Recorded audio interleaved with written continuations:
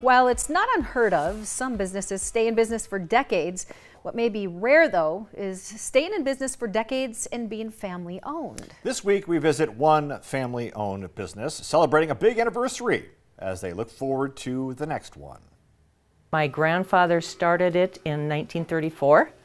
Dad took over in the early 70s. And now Susan Walker Wyant is president of the 90 year old Walkers and Daughters Jewelers a business her grandfather started out of necessity. He had a job as a, as a watch repairman here in town, and in 1933 he got laid off, middle of the Depression, so he decided to open his own business.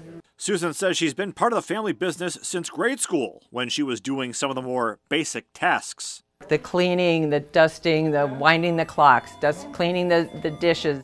Just like fashion, Susan's responsibilities have changed with time. What hasn't changed? I love people. Susan's brother Alan is the certified gemologist.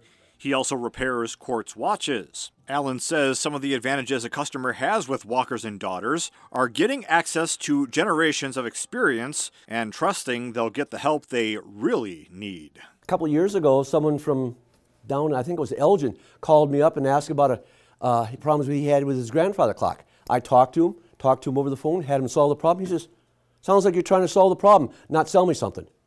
Exactly. It's with that mindset and with her late father's wishes, Susan is looking forward to the future. I'd like to hit 100. That was my goal. And I know when, when dad was failing, I kind of looked at him and it's like, okay, dad, what do you want? And he said, keep it going.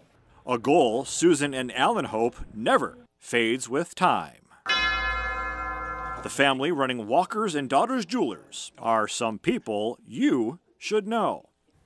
Susan's husband Larry also works for the business repairing the clocks. Now, in addition to the downtown Bismarck location, Walkers and Daughters Jewelers has a store in Kirkwood Mall. Now, if you think there's someone that we should know about, like Susan or Alan, you can fill out the nomination form right now at kxnet.com.